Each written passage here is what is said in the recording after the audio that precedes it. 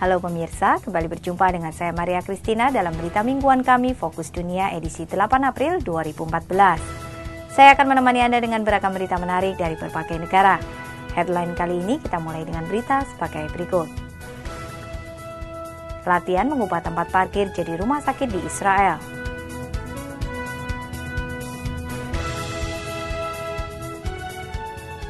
Biola Stradivari langka diharapkan pecahkan rekor.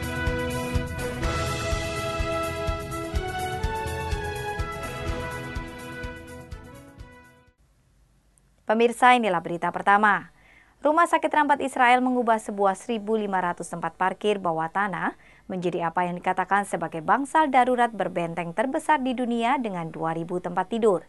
Menurut petugas, pelatihan untuk mengubahnya akan memakan waktu selama 72 jam. Sebuah pusat medis Israel mengadakan latihan mengubah tempat parkir mobil di bawah tanah menjadi sebuah rumah sakit darurat. Hal ini menggemakan keprihatinan bahwa negara dapat berada di bawah serangan roket api dalam konflik di masa mendatang. Dibangun untuk menahan serangan konvensional dan non-konvensional, rumah sakit darurat bawah tanah di kota Haifa, Israel Utara itu dapat menampung hingga 2.000 tempat tidur. Dalam masa damai, bagaimanapun, fasilitas bawah tanah itu menyediakan 1.500 tempat parkir yang sangat dibutuhkan untuk kompleks ramai. Jelas untuk menempatkan rumah sakit bawah tanah atau sesuatu seperti ini, itu membuang-buang tempat dan banyak sumber daya. Jadi diputuskan untuk membangun sesuatu yang juga sangat dibutuhkan di rumah sakit, yaitu tempat parkir dan tempat parkir serbaguna yang dalam keadaan darurat berubah menjadi rumah sakit bawah tanah terbesar di dunia dengan 2.000 tempat tidur. Kebutuhan akan tempat yang terlindung menjadi jelas selama Perang Israel tahun 2006 dengan milisi Hizbullah Lebanon saat ribuan roket ditembakkan ke Israel Utara menyerang pusat-pusat populasi utama. Selama konflik tersebut, banyak roket menghantam lingkungan di sepanjang rumah sakit Rambam Haifa dan para staf terus beroperasi di daerah-daerah yang tak terlindungi.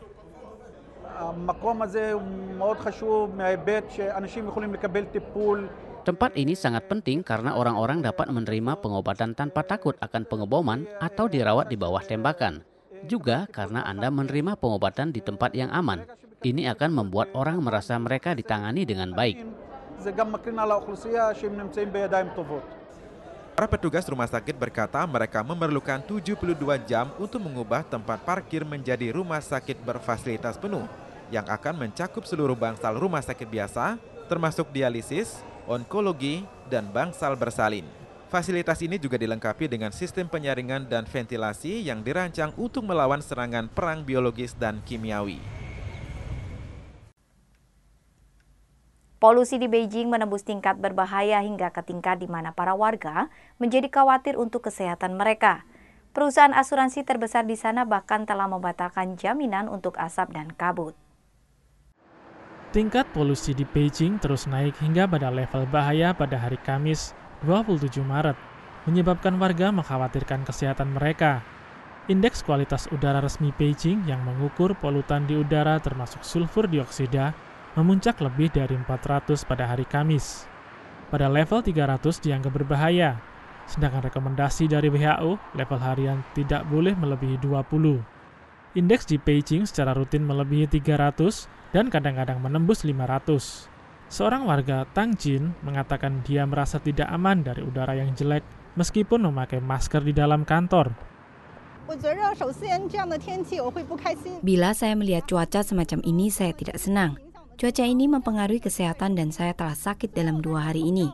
Meski memakai masker, saya masih berpikir sepertinya tak ada perbaikan. Saya harap, bagaimana mengatakannya ya? Mungkin lingkungan ini bukan problemnya Beijing, tetapi dari wilayah sekitar. Setiap orang harus kerja keras untuk memperbaikinya. Pekerja kantoran Liu Qian mengatakan bahwa sulit bagi orang-orang di luar Beijing membayangkan bagaimana buruknya asbut itu. Jika saya dalam perjalanan bisnis di luar kota, mempunyai bayangan yang positif dari Beijing. Jika Anda tidak tinggal di Beijing, Anda akan mengira bahwa asbut tidak begitu buruk. Setiap orang di luar kota ini berpikir perlu ke Beijing melihat sendiri, membuktikan bahwa cuaca di sana bukan masalah besar. Tetapi ketika benar-benar sampai di Beijing, melihat setiap orang memakai masker, apa yang Anda pikirkan? Paling tidak, jika Anda berpikir lebih dalam, udara ini buruk untuk tubuh Anda. Inilah situasinya. Menurut surat kabar China Daily, dua perusahaan asuransi terbesar telah menghentikan jaminan untuk Asbud setelah jaminan semacam ini diluncurkan seminggu sebelumnya. Surat kabar tak menyebutkan mengapa pengawas asuransi negara memerintahkan People's Insurance Company of China dan Ping An Insurance Group menghentikan penjualan itu. Kualitas udara yang memburuk itu menjadi perhatian utama para pemimpin China mengkhawatirkan timbulnya kegelisahan yang meluas seiring dengan perlawanan dari penduduk. Asbut yang menyelimuti Beijing itu ditimbulkan dari lalu lintas serta industri-industri yang berpolusi berat di Provinsi Hebei. Masalah Twitter Turki menjadi sorotan terbaru sosial media dalam menghadapi masalah ketidakstabilan politik di saat mereka tengah membangun pangsa pasar di luar negeri. Berikut berita selengkapnya. Sejumlah pengguna Twitter mungkin akan tertawa untuk terakhir kalinya atas kudeta digital setelah Perdana Menteri Turki, seorang pengguna berat Twitter memblokir situs ini. Twitter dilarang saat memasuki masa pemilu. Para pakar teknologi termasuk Presiden Turki sendiri dengan cepat menemukan solusi dengan sedikit bantuan Twitter. Lens Ulanov, pemilik Mashable berkata, Sungguh hal menarik melihat mereka menyemprot dinding settingan DNS hanya untuk mengakses kembali Twitter. Maksud saya, ini tentang bagaimana publik telah berubah, seperti yang dilakukan para pakar teknologi. Twitter is blocking Turkey menjadi topik terhangat dalam dunia Twitter saat ini. Larangan muncul lantaran setelah Twitter menolak menghapus konten skandal politik namun, kejadian tersebut tidak begitu berdampak pada Twitter, karena ini bukan pertama kalinya dunia politik memberangus media sosial. Seperti China, yang melakukan pelarangan dengan lebih efektif.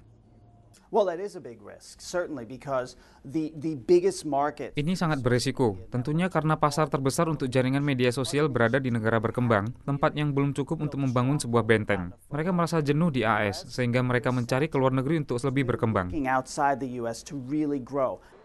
Menurut pandangan Scott Kessler, risiko tersebut sudah bukan rahasia lagi bagi investor. These companies to a large extent highlight pretty extensively in the context of um, public SEC filings that there are risks. Sebagian besar perusahaan menyoroti secara luas konteks pada pengajuan publik SEC yang beresiko langsung pada sejumlah negara dan pemerintah yang memilih untuk tidak membuat penawaran yang selektif. Faktanya adalah kami tidak benar-benar tahu apa yang akan terjadi pada beberapa perusahaan atau bisnis mereka.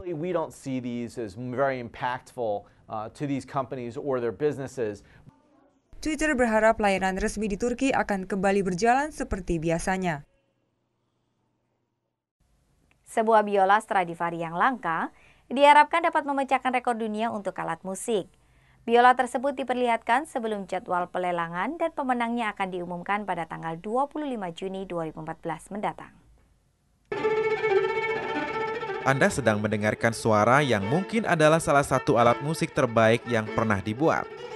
Biola ini dibuat oleh perajin Italia legendaris Antonio Stradivari pada tahun 1719 dan adalah yang pertama berada di pasaran dalam 50 tahun menurut tim Inggris dari Sotheby. Ini dibuat oleh pembuat biola terbaik sepanjang masa. Ini adalah satu dari hanya 10 biola. Ini adalah yang terbaik dari seluruh biola, dapat dikatakan strat terbaik di dunia. Instrumen yang dilindungi dengan rapi ini dikenal sebagai McDonald, dibuat selama masa yang dianggap periode emas Stradivari antara tahun 1700 hingga 1720. Selama 300 tahun, para pemusik legendaris telah menghargai Stradivari atas suara mereka yang mendalam dan kaya. This, this instrument is, is kind of the... Instrumen ini seperti puncak prestasi manusia dalam hal keterampilan dan dalam hal sejarah yang terkait dengan instrumen khusus ini. Harganya senilai setidaknya 45 juta dolar AS. Karena itulah tawaran terendah untuk penjualan tertutup mendatang. Hal ini diharapkan dapat dengan mudah mengalahkan rekor harga lelang dunia saat ini, yaitu 15,9 juta dolar AS untuk biola tahun 1721 Stradivari Lady Blunt yang terjual di tahun 2011. Pemenang lelang karya besar ini akan diumumkan pada tanggal 25 Juni.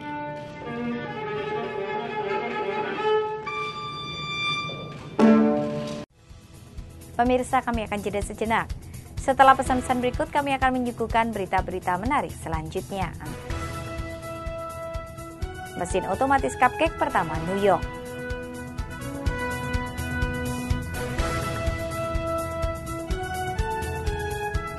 Pastor hip hop kait kaum muda Polandia.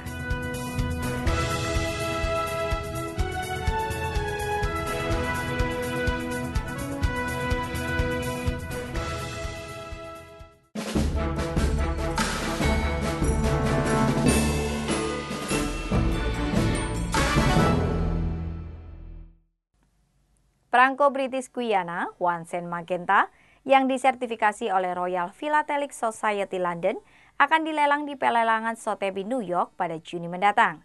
Diperkirakan angkanya akan menembus 10 hingga 20 juta dolar. Ini adalah perangko paling terkenal di dunia. Satu-satunya yang berasal dari British Guyana Wansen Magenta dari tahun 1856 yang langka. Para ahli dari Royal Philatelic Society telah melakukan autentifikasi di London menjelang lelang pada Juni mendatang. Guyana Britania adalah salah satu negara pertama di dunia yang menerbitkan perangko, dan ini masih disertai cap lokal. Untuk 4 sen hanya tinggal beberapa, tapi yang satu sen cuma ada satu. Ada banyak usaha pemalsuan karena kelangkaan perangko ini. Kebanyakan dari mereka sangat mencolok. Ada yang dicetak secara modern, ada juga yang memakai kertas masa kini. Yang paling sulit dibedakan adalah bila seseorang menaruh 4 sen untuk ditukar menjadi 1 sen. And altered it to read one cent. Perangko One Cent Magenta diperkirakan akan menembus rekor penjualan dalam sebuah pelelangan. It is one inch by one and a quarter inches. It's tiny. Perangko ini kecil, berukuran 1 seperempat inci. Ini akan menjadi benda paling berharga yang pernah dijual dalam hal berat dan ukuran. Diperkirakan perangko ini akan menembus 10 sampai 20 juta dolar. Million dollars. Sotheby akan mulai menawarkan perangko ini pada 17 Juni mendatang.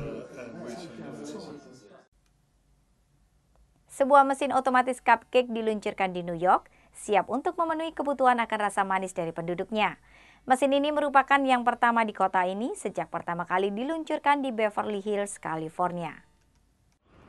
Warga New York berbaris untuk mesin otomatis cupcake pertama di sana yang menjanjikan cupcake segar langsung dari oven. Dinamai ATM Cupcake, mesin ini diluncurkan oleh Sprinkles Cupcakes, toko cupcake yang pertama dimulai di Beverly Hills, California. ATM Cupcake pertama mereka luncurkan di Beverly Hills pada Maret 2012 dan mesin di New York merupakan yang kelima di Amerika Serikat. Salah satu pendiri kami, Candace, saat itu hamil anak keduanya dan mengidam sesuatu yang manis di tengah malam. Lalu berpikir, saya punya toko cupcake, kenapa saya tidak bisa mendapatkannya? Saat itulah ide ATM Cupcake lahir. Mesin otomatis terdiri dari komputer yang dioperasikan dengan lengan robot. Isinya adalah rasa-rasa yang tengah dijual di toko yang hanya buka 12 jam sehari. ATM Cupcake menampung sekitar 800 cupcake dan mengikuti jadwal memanggang yang sama dengan toko kami. Jadi pada hari tertentu, ada 12 hingga 16 rasa di toko, maka mereka juga akan ada di ATM. Kami mengemas mereka sepanjang hari dan menyetoknya di ATM. Setelah itu kami menyiapkan ATM, dan tergantung dari rasa apa yang Anda pilih, lengan robot akan mengambil rasa tersebut dan menggesek kartu, dan setelah itu Anda akan mendapat cupcake-nya. Warga New York sudah tidak sabar untuk mencoba mesin itu. Ini hebat, sangat menyenangkan. Saya suka cupcake dan sprinkles adalah favorit saya. Saya sangat senang dan berharap mereka membuka lebih banyak ATM di kota ini. Randa Abdelhamid datang bersama putrinya yang berumur 6 tahun, Salma. Sangat bagus dan menyenangkan. Ia sangat bersemangat. Kami melihat pengumuman di Facebook, jadi kami hendak datang dan melihatnya. Sangat menyenangkan. Rasa-rasa yang tersedia antara lain rasa kelapa, coklat pekat, red velvet, dan lemon. Harga sebuah cupcake adalah 4,25 dolar AS dan mesin dapat mengeluarkan hingga 4 cupcake sekali pesan. Dari pemegang Nobel hingga desainer dan pemilik motel, sebuah pameran Smithsonian baru menyoroti budaya dan kontribusi dari komunitas India Amerika di Amerika Serikat. Berikut laporan selengkapnya. Sebuah pameran baru di Museum Smithsonian AS mengeksplorasi sejarah yang masih sedikit diketahui oleh komunitas India Amerika yang jumlahnya mencapai hampir 3 juta di AS. Disebut di luar Bollywood, orang India Amerika membentuk negara Pameran ini merupakan pameran pertama di Smithsonian yang melihat secara mendalam pada para imigran India. Kurator Museum Momaya yang juga merupakan seorang India Amerika berkata, ia memilih judul pameran untuk menunjukkan sisi berbeda dari India.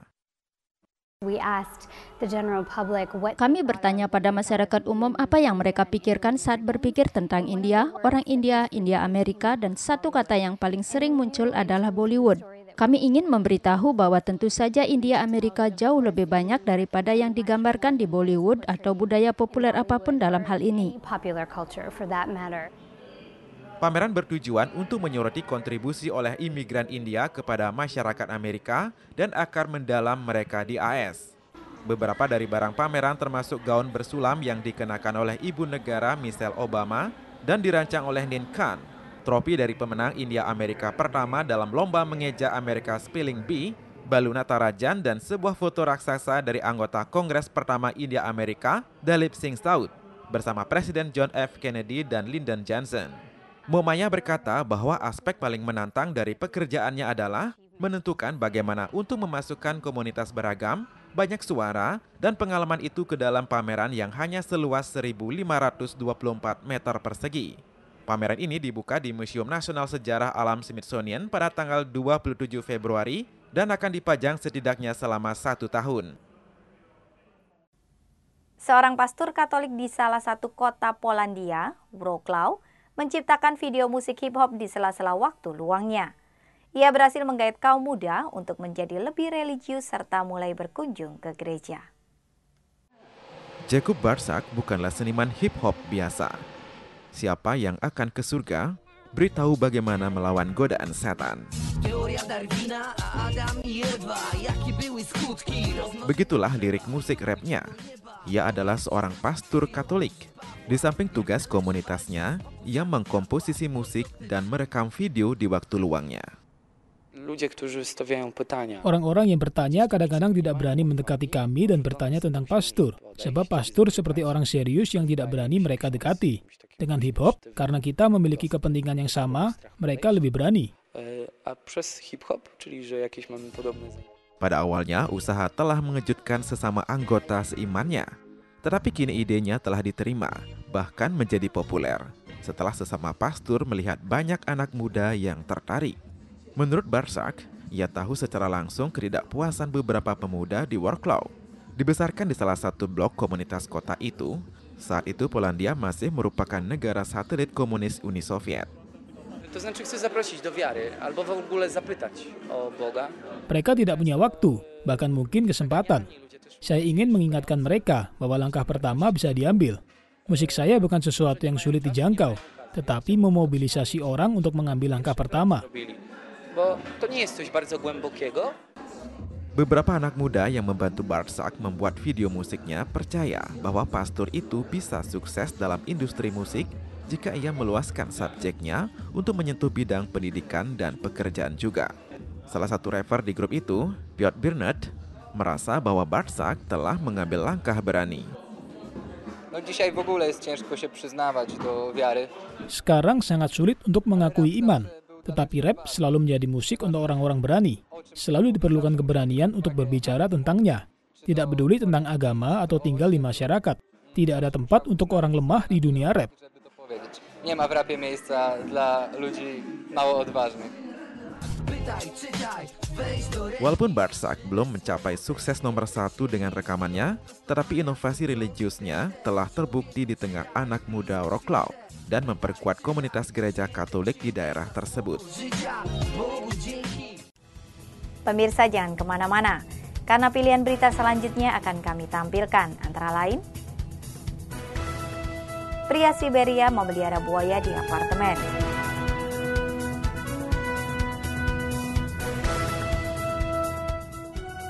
Gembok cinta sebabkan sakit hati di Paris.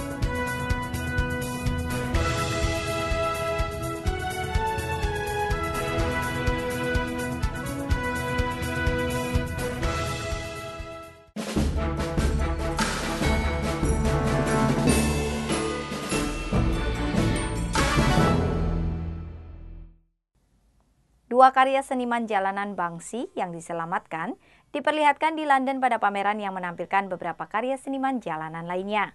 Pameran akan diikuti oleh lelang yang hasilnya akan disumbangkan ke badan amal setempat.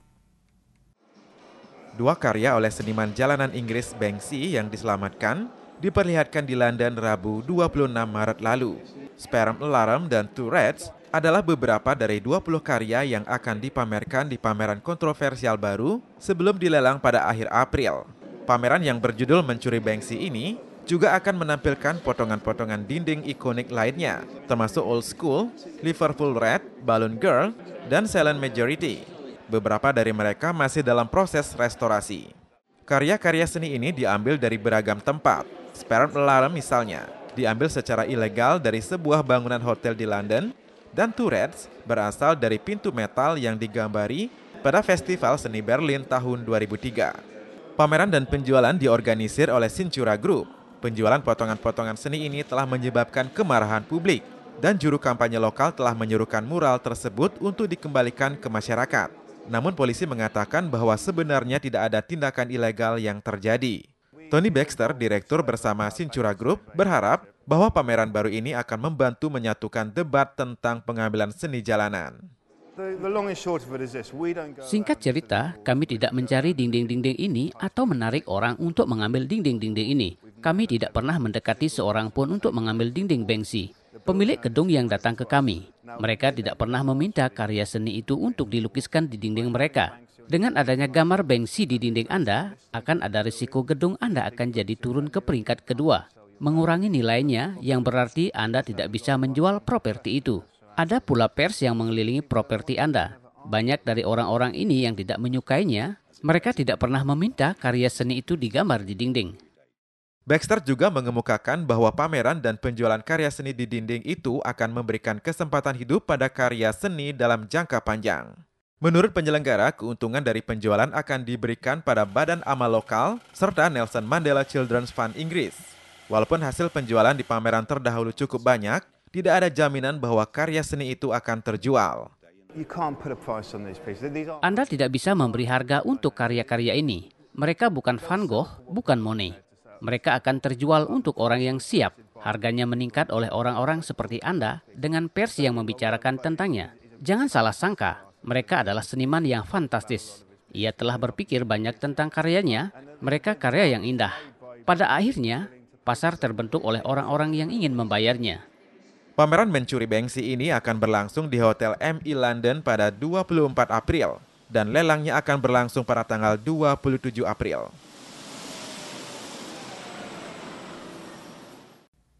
Seorang pria Rusia memelihara bayi buaya Nile di sebuah apartemen biasa di Siberia. Sergei Falkov telah mengadopsi bayi buaya tersebut sejak lahir dan saat ini buaya tersebut telah berbobot 25 kg. Hewan peliharaan yang menggigit. Pria Siberia telah mengadopsi buaya yang tinggal bersamanya di apartemen yang sederhana. Sergei Falkov berkata dia memeliharanya sejak bayi. Menurutnya, hewan tersebut tidak memerlukan perlakuan khusus – hanya penanganan profesional.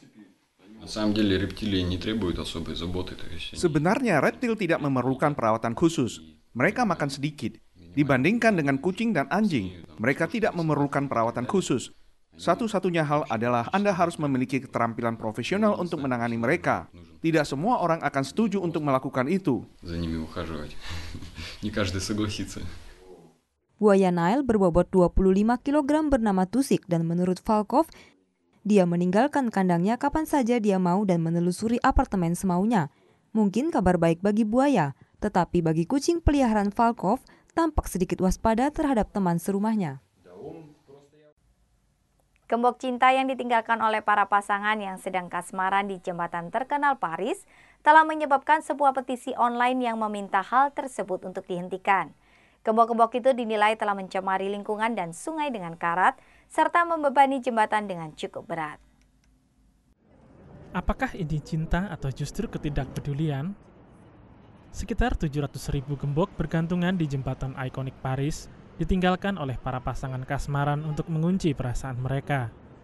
Tetapi terlalu banyak cinta bisa menjadi hambatan karena gembok-gembok tersebut telah memberati jembatan. Menurut Lisa Taylor Huff yang meluncurkan petisi online tidak untuk gembok cinta Uh, Jembatan itu sebenarnya sedang dirusak secara fisik oleh berat gembok. Oleh karatnya, yang berasal dari gembok gejala dan pagarnya, serta perusakan lingkungan pada sungai dari kunci-kunci yang dilemparkan dan berkarat. The Ponders Art adalah jembatan paling terkenal yang terkena masalah ini. Jembatan itu kini memegang 93 metrik ton logam, setara dengan tiga truk besar diparkir secara permanen di jembatan pejalan kaki. Tetapi para turis sepertinya tidak terlalu khawatir saya pikir ini adalah vandalisme yang dapat diterima. Ada beberapa hal yang ilegal atau tidak boleh Anda lakukan, tetapi masih bisa diterima.